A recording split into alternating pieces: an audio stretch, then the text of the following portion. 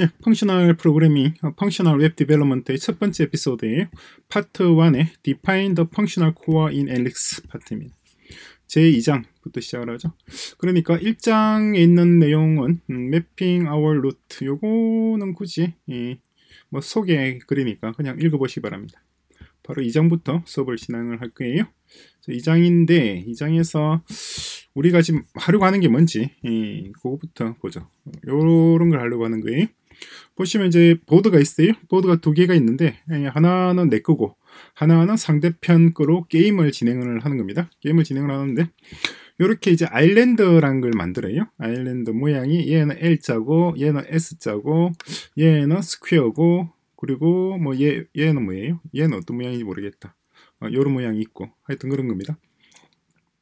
그리고 어, 닷도 있어요. 닷. 음, 하나 있는 닷 점도 있고 어, 그래서 어, 상대방도 물론 이제 이런 게 있겠죠. 이런 게 있어가지고 서로가 서로를 볼, 서로의 보드를 볼 수 없는 상황에서 어, 이제 개스 추측해서 한번 찍어보는 거예요. 찍어봐서 맞추면은 이렇게 파랗게 표시가 되고, 그죠? 틀린 거는 이렇게 까맣게 표시되겠고 이렇게 표시를 하는 겁니다. 그죠? 그러면은 이제 누가 먼저 상대방의 이 아일랜드 이걸 아일랜드라고 표현을 합니다. 어, 아일랜드를 다 이렇게 어, 점을 찍어서 다 맞추느냐 하는 거예요. 맞추면 이렇게 파랗게 되잖아요. 초록색이 되잖아요. 그러니까 이걸 이제 포리스트, 어, 포리스트라고 표현을 합니다. 어떤 게임인지 대충 뭐 감이 오시죠? 이런 뭐 게임이에요. 그래서 눈 감고 어, 서로의 것을 서로의 아일랜드를 예, 맞추는 게임입니다. 그래서 시나리오를 한번 시나리오는 그런 시나리오입니다. 이런 시나리오. 어떤 시나리오인지 대충 감이 오시나요? 그죠? 맞춘 상대방이 내 걸 맞춘 거는 이렇게 파랗게 표시, 초록이 표시가 되고 상대방이 놓친 거는 굳이 표시할 필요 없죠. 그죠? 어. 그리고 내가 맞춘 거, 내가 상대방의 어, 이 아일랜드를 맞춘 것은 이렇게 초록색으로 표시되고 놓친 거는 어, 이렇게 까맣게 표시를 해야지 내가 다시 안 찍을 거 아니에요. 그죠? 같은 데를 같은 실수를 두 번 할 필요는 없죠. 그죠? 그래서 내가 보는 화면입니다. 나는 내 화면은 이렇게 보이고 상대방의 보드는 이렇게 보인단 말이에요. 상대방은 반대, 반대, 반대겠죠. 상대방은 자기 화면이 이런 식으로 보일 것이고 내 화면이 이런 식으로 오른쪽 같이 표시될 거 아니에요. 그죠? 그런 내용입니다. 그래서 뭐 대략 제일 먼저 순서는 이렇게 시작을 합니다. 첫 번째 시나리오를 작성을 합니다. 시나리오. 방금 제가 말씀드린 게 시나리오입니다. 시나리오를 작성하고 그런 다음에 data structure 를 구성을 할 거예요. structure를 구성을 하고 그런 다음에 그에 맞춰서 function을 구성을 하고 그런 다음에 DB 부분을 연동을 하고 그죠? function하고 state 관리 management 부분을 처리하고 그 다음에 DB 부분을 좀 어떻게 어, 할 것인지 이, 하고 DB보다는 DB DB는 조금 이따가 하는 걸로 하고 일단 supervising부터 하죠. supervising supervising인데 어, state management랑 supervising이랑 서로 좀 비슷합니다. 뭐 큰 차이는 없어요. 어, 두 개를 같이 연동해서 같이 시작을 하고 그런 다음에 DB 부분도 처리하고 그 다음에 마지막으로 웹 인터페이스 웹 UI를 구성하고 이렇게 하고 어, 물론 중간중간에 이제 테스트를 진행을 하는 거죠. 테스트를 진행을 하는 걸 이런 식으로 이제 시, 작을 하죠. 그죠?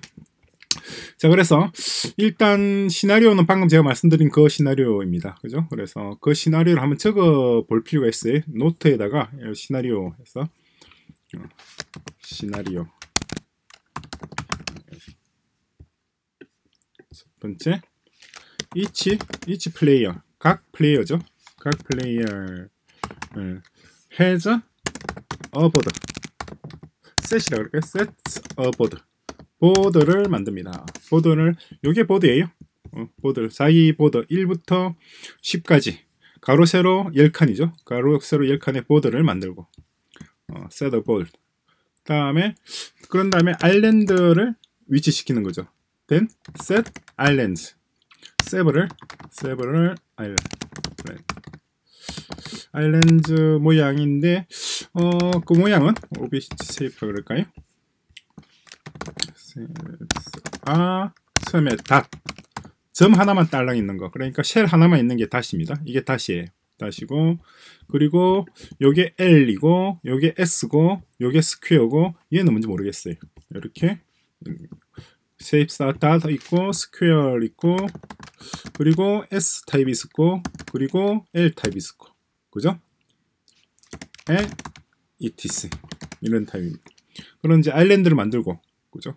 어, island를 위치시키는데 그리고 island는 또 어떻게 되냐니까 그러니까 어 요걸 어떻게 좀 더 다시 할게요. 다시 a board border has several islands 가지는 거고 그리고 an island island has several coordinate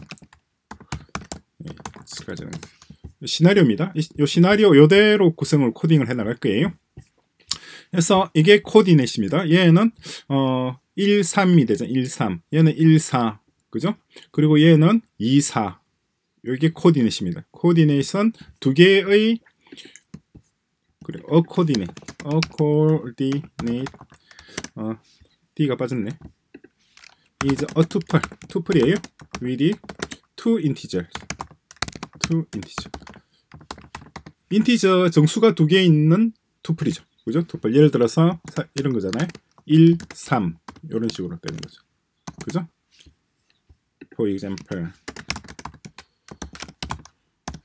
이런 거예요. 그리고 어 and each integer integer should be in a range 어, range range 속에 있어야 돼요. 그 range는 1부터 10 사이죠.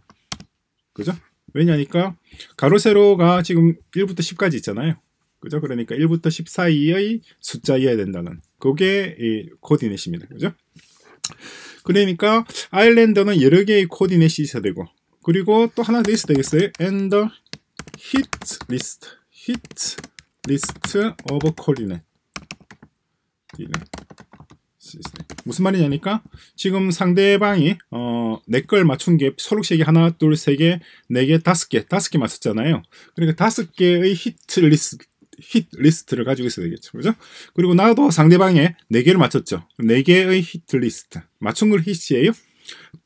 list를 가지고 있어야 됩니다. 그래서 어, 내가 상대방의 island에 있는 모든 이 coordinate을 다 맞추게 되면 그러면 게임은 내가 이기는 걸로 끝나는 겁니다.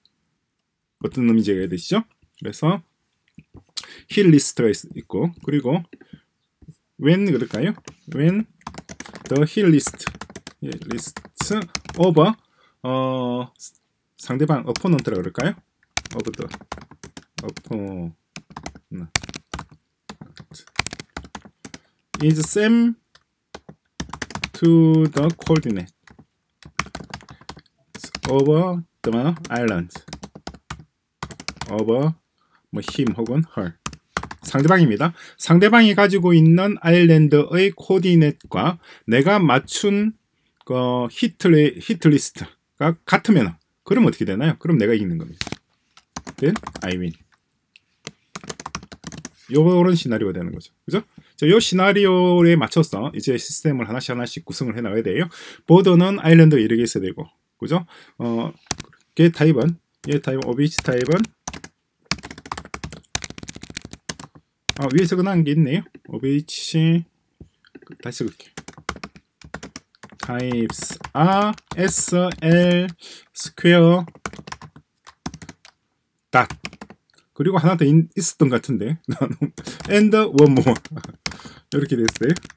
그러니까 이런 형태의 여러 개의 island를 가지고 있는 보드를 일단 만드는 거. 이게 1단계입니다. 스텝 1 위에서부터 나가죠. 작은 데서부터 나가도 되고 위에서부터 나가도 되는데 bottom-up과 어, top-down 방식 두 가지 방식을 생각해 볼 수가 있는데 top-down top-down은 어, 그러니까 큰 것부터 먼저 시작을 해서 큰 모듈 그러니까 큰 거 big 모듈부터 big에서 small로 나가는 게 이게 top-down이잖아요.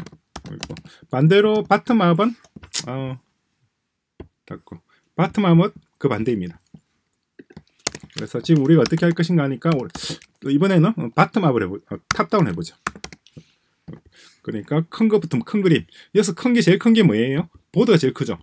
보드 다음은 island고 island 다음에 coordinate이잖아요. 그러니까 보드부터 먼저 만들고 다음에 island 만들고 coordinate 만들고 이렇게 만들어 나가는 과정을 하죠.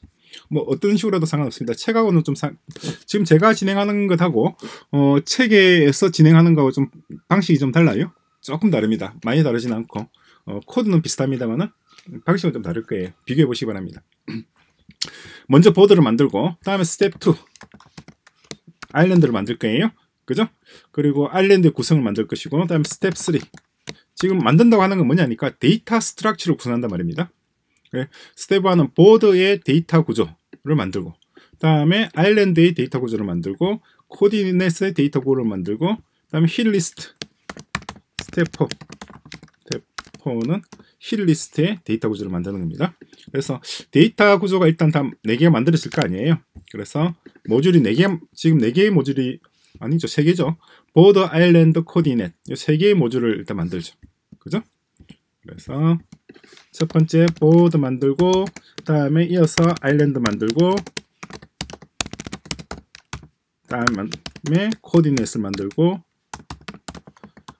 만든다는 건 data structure data structure structure를 만든단 말이에요. data structure를 만든단 말은 어떤 의미인가요?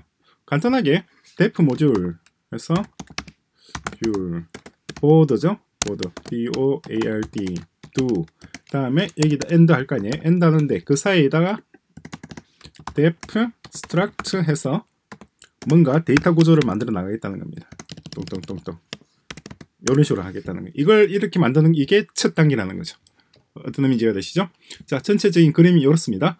이런 그림이니까 일단 내용을 어, 모델 제 2장입니다. 2장이니까 처음부터 여기 wrapping up까지 천천히 한번 천천히 코드를 따라서 해보시고 그리고 코드 내용을 완전히 이해하도록 이해 이해하도록 해보시기 바랍니다. 그리고 뭐 혹시라도 모르는 부분 잘 이해가 안 되는 코드가 있으면은 어, 그 부분은 게시판에서 저한테 질문하시면 돼요. 저나 아니면 다른 사람이 답변해 주실 겁니다. 자 그렇게 준비됐다고 상, 상정을 하고 바로 다음 에피소드에서 실제 이 코드를 구성하는 과정을 책에 있는 방식하고 조금 다르게 한번 진행을 할 거예요.